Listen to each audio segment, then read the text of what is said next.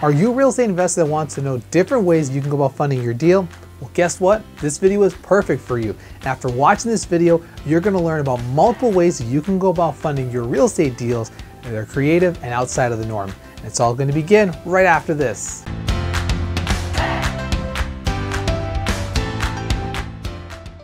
Hi everyone, I'm Josh Tavares, investor and realtor at eXp Realty Brokerage. It'd be so nice if you can help us out and hit the like button, hit the subscribe button, and hit the notification bell to get updates on our newly uploaded content. And if you're looking to invest in real estate with great cash flow and great appreciation, hands off, guess what? Click the link below, book an appointment. We'd love to chat with you further and help you grow your portfolio or help you get into real estate investing. And without further ado, let's begin. As a real estate investor, there's not a one size fits all when it comes to funding your deals. It all depends on your circumstance, your resource, even your team members. So something I wanted to kind of give you a bit of a heads up before we continue about talking about different ways you can fund your next deal. Many of the strategies that we're actually about to go into, we've actually used personally ourselves and has worked great for us in our real estate investing journey. Number one, cash. Obviously, this is one of the easier methods in today's video. Essentially with cash, you have enough funds in your bank account that are sitting around that you can purchase a property in full without needing any type of financing from any other institutions. Remember, if you have your funds sitting in a savings account, you're essentially losing money. A lot of these savings accounts are only going to be giving you about like 0.25% interest, and with inflation being 5 to 7%, you're essentially losing more than 6 to 7% every single month. So why have your money in your savings account when you can go about investing into an asset that's going to give you cash flow, appreciation, provide you equity, and have the ability to scale to multiple properties? As we've seen, inflation continues to go up, even though it is slowing down a little bit. You're still losing money every single month. So even though you don't see a decrease, let's say you have $100 in a savings account, at the end of the month, let's say inflation is 7%, your $100 is actually really worth 93 the next month, but your account is still going to show perhaps $100.25. Now with having enough cash to purchase a rental property, you have the ability to get an asset, like I've said multiple times, They'll give you cash flow, appreciation, equity, have the ability to scale. So by having, let's say, $100,000 in USD that you can purchase into one rental property, you can have that essentially scale to multiple properties that are cash flowing, getting appreciation, equity, and helping you scale to more properties than essentially having your funds into a savings account where you're losing every single month. And also, this is not including all the tax benefits with real estate. I'm sure I've mentioned this multiple times, where with real estate investing, all the income that you're receiving you're able to use tax benefits from all the expenses such as property tax, utilities, insurance, and everything as such associated, including mortgage interest that you're able to use to write off. So essentially you shouldn't be paying any taxes whatsoever. Number two, business credit cards. This is actually one method Robert Kiyosaki, a very well-known real estate investor, I'm sure many of you already know, is how he actually funded his first deal in Hawaii. Now, business credit cards are not gonna be the most ideal format, it's gonna have a high interest rate attached to it. However, if you're someone who has a lot of business credit cards without access to a lot of funds through it, you can essentially use, compile those funds together to purchase a property and essentially potentially have enough to be paying just the interest alone on those credit cards every single month and the cash flow received from your rental property. Now with the business credit card, it doesn't essentially mean you have to have, let's say five different business credit cards with like $25,000 each. It can essentially be one business credit card with even like 10,000 or 15,000 and use that alongside with any other investing means you have. You can combine it together to help you get there as a form of like a down payment or essentially if you have enough through all the different means, use it towards purchasing a rental property outright. And the great thing about this is many of these types of credit cards tend to have a rewards program attached to it. So not only are you using the funds from a credit card to purchase a property and the cash flow to pay it down, but you also have the ability to receive rewards that you can use towards financing your lifestyle or for really cool things like gas, expenses for groceries, shopping, and anything else similar. Number three, private money. Now with private money, it could essentially be getting a loan from a family member who has their money in a savings account that's really not performing and being able to use those funds that you can essentially pay them an interest that's higher than the bank and have them loan you the funds you can go about purchasing a property. Now typically it is going to be higher than the banks, so let's say it's about 7 to 8%, but what you're going to receive in terms of cash flow and appreciation and the ability to scale over time is going to be greater than that. And also your family member is more likely to provide you those funds. The reason being is they're probably getting less than of a percent anyways at the bank, so they have really nothing to lose getting a higher percentage working alongside with you and their family, so there's that no like and trust factor. Now, private money can also be investors who you don't even know who work with mortgage brokers who lend their funds out between the range of about 7 to 15%. Now with these individuals, they tend to have less restrictions and won't need as much than typical lending institutions at the bank where you'll be able to receive a better rate, but it'll be a lot harder to qualify. And with these investors, you essentially don't have to have as much upfront and they're more likely to look at the property as is and less about yourself in terms of funding the deal. Where working with a lending institution such as a Scotiabank or an RBC bank, What's essentially going to happen is that these institutions are going to look more at your ability to take care of financing or monthly payments in the event something was to happen to the rental property, where with private lending, they're going to say, how much can this property generate? What's the value? Does everything make sense? Then guess what? They're going to more likely approve it at a higher rate than opposed to a lending institution would. And this can all essentially be done through a promissory note, of course having legal documents and having the right legal advice put together for let's say funds of $50,000 through 30 years at a 5% interest rate, something as such so there's something in writing so you're able to receive the funds and have everything accounted for. And the great thing with this, as you continue to pay down the loan and provide the returns to these investors, they're more likely to want to fund even more money and work continuously with you. So that's the great thing with being a real estate investor as you continue to receive funds and you'll be able to pay it down.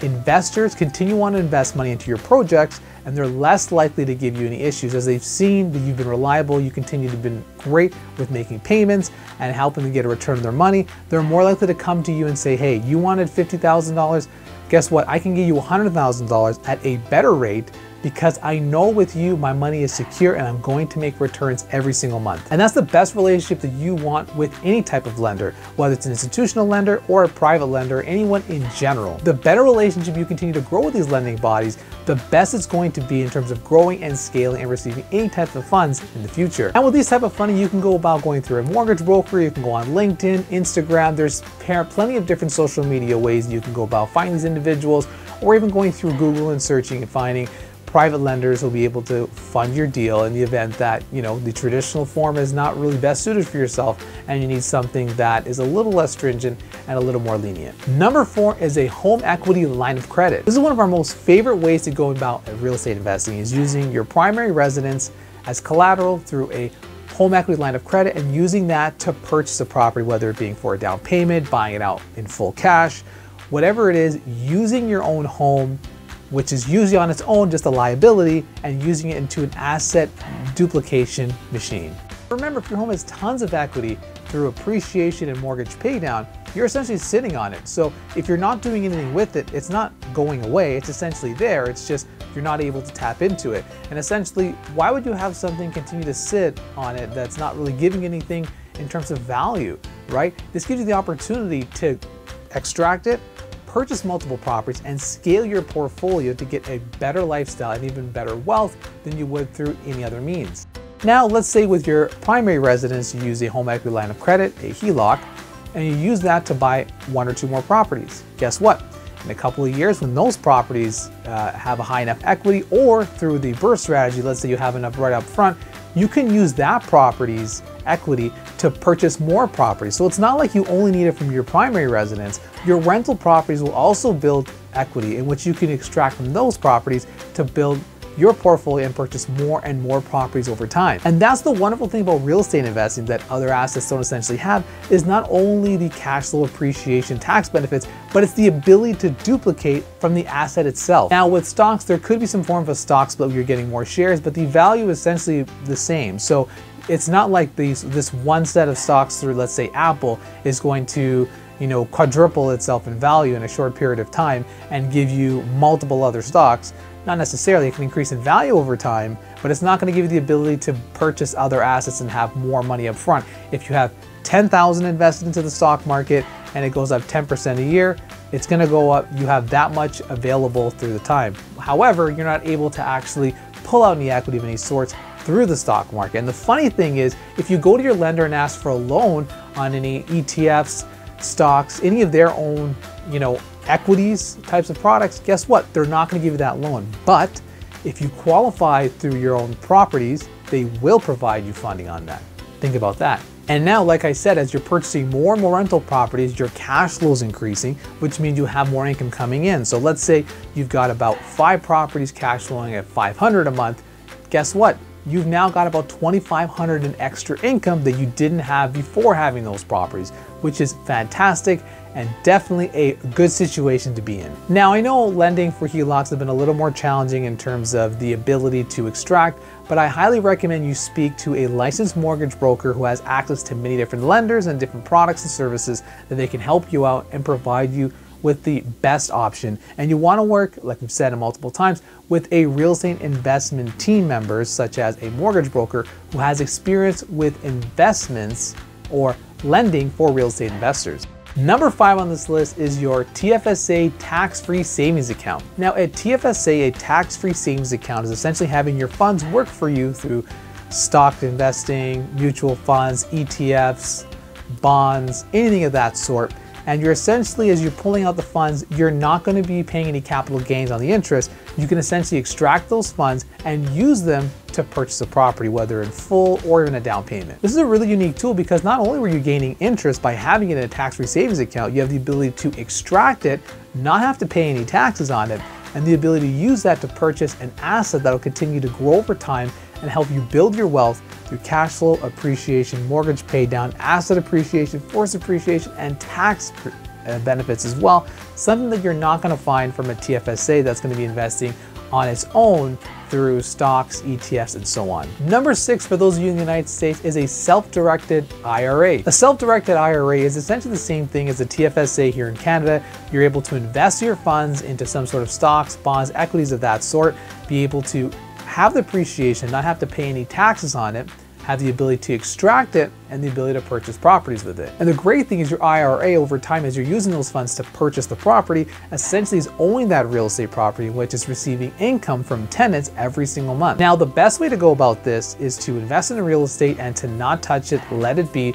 so then over time as you retire, you won't have to pay any taxes, which in the US is about 60 years of age, and in Canada, it's 67 years of age. Number seven is another one for US investors. It's the 1031 exchange. So let's say you've got a property that you've inherited that's not performing very, very well. You have the ability to roll this property over into an investment property that actually provides a better return for you and your money. Now, this is more of an advanced strategy and there's a lot more content out there on this, so feel free to research a little bit further but it's great for those in the US who have the ability to use its benefits to help grow their portfolio from something that's already not performing very well for them. Number eight, hard money. Now, hard money is essentially very much like private investors who are not financial institutions that'll be able to provide you lending in the event that you can based on down payment, credit score, income, and so on and so forth. So hard money lending is very much like private lending where you essentially don't need to have this, the greatest credit score, down payment, or income to purchase a property However, it's going to have higher fees and usually it's going to have a time frame in which the funds need to be paid back. So this is a great strategy for people who are going about flipping because they can go about receiving the funds, have to pay a higher interest, but know that in a couple of months, they'll be able to pay it off in full and be able to profit from the remaining amounts of the profits from the flip that they had taken place. Now, if you're an investor who's going to use this strategy to go about rolling over to purchase multiple properties like a HELOC, it's probably not the greatest strategy given that many of them do have a timeline in place that needs to be fulfilled or there's going to be some legal issues there.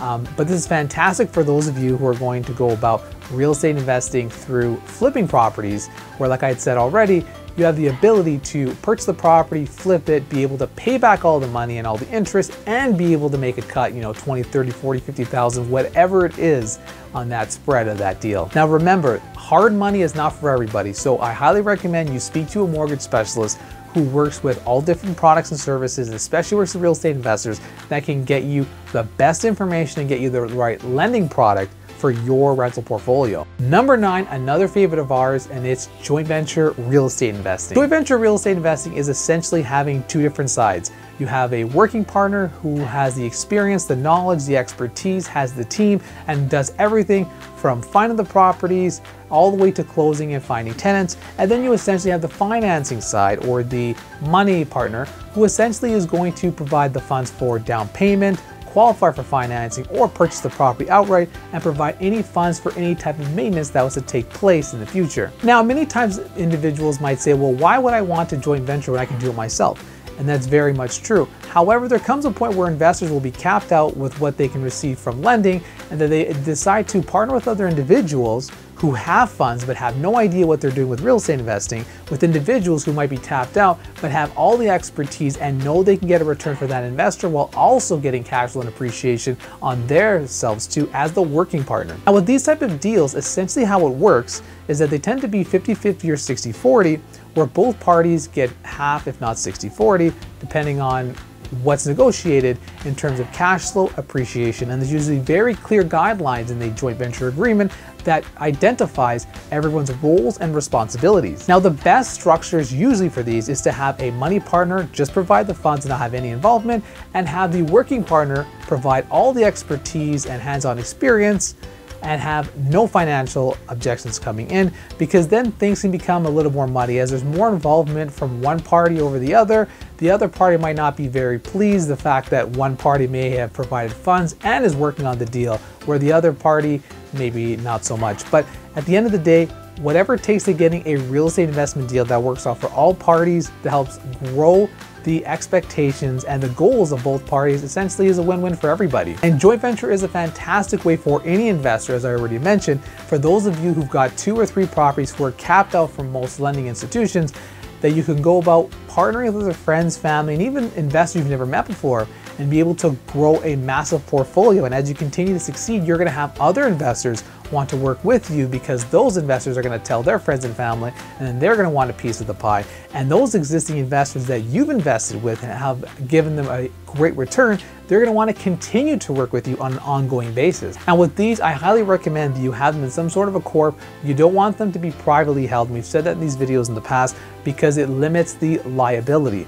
Now, let's say everything was held personal, then essentially what will happen is if the tenant was to trip and fall on the property, what can take place, the tenant can actually sue the investors involved and they could potentially lose everything they have. Where having in the right corporate structure means that anything was to take place, they can only be sued as to what's in that corporation or only that property, depending on the corporate structure that you have your properties in. That's why it's super important that you work alongside a cross-border specialist or a real estate lawyer and a real estate accountant that can provide you the best structure needed to get you the most security and the best tax rate there is available. Number 10, this is probably one of the more common ones in terms of getting people to start in real estate investing for some individuals, and that's inheritance. Now, for some investors who get into investing this way, they may have a family member who passes away who provides their home, their car, gold, any type of asset that's worth any money. They're able to use those funds or sell the property or extract or anything of that type of sort to purchase a rental property based on the inheritance that they had received. This is one way that I know many investors have got into real estate investing who maybe didn't want to go about the HELOC method or home equity line of credit method. They actually received funds from a family member passing away, inherited a house, decided to either refinance that house to purchase rental properties or sold it in general, use the preceding cash to go about purchasing rental properties and then got into it that way and continue to rinse, and repeat, and duplicate. Now, not everyone is in this position to use inheritance, but it's always something that can be used to fund your deals. And if it does happen to come your way, it's an idea that you now have that you could use to help grow and scale your portfolio. I hope this video is super helpful, insightful, and gives you all the information that you need to know about different ways that you can go about funding your next deal. I'm Josh Tavares, investor and realtor at eXp Realty. Don't forget to help out and hit the like button, hit the subscribe button, and hit the notification bell to get updates on our newly uploaded content. And like we've said before, if you're looking to get passive real estate investments that have great cash flow, great appreciation at a low price point, let's book an appointment down below in the description. Thanks so much for watching, everybody. Take care and have a great day.